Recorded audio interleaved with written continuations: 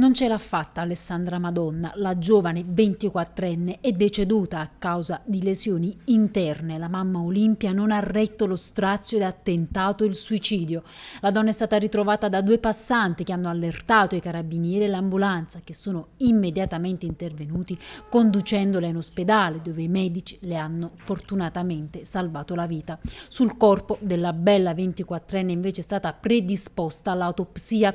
Il magistrato di turno vuole vuole vederci chiaro e comprendere cosa sia realmente accaduto questa notte a Mugnano su via Pavese. Il suo ex Peppe Barriale invece accusato di omicidio volontario. Secondo una prima ricostruzione pare che la giovane abbia atteso il 24enne nei pressi della sua abitazione. I due hanno cominciato a discutere, lui era a bordo della sua vettura, lei fuori. Barriale ha poi ingranato la marcia, nonostante Alessandra fosse ancora lì a parlargli. La giovane si è quindi aggrappata alla vettura ed è stata trascinata per diversi metri all'interno del parco. Peppe, resosi conto di quanto accaduto, l'ha poi accompagnata in ospedale. La ragazza però era in gravissime condizioni. Per lei è giunta infatti rapida la morte cerebrale. È stata tenuta in vita per ore fin quando intorno alle 13 è poi morta. Il nosocomio giulianese è stato preso d'assalto da amici e parenti sconvolti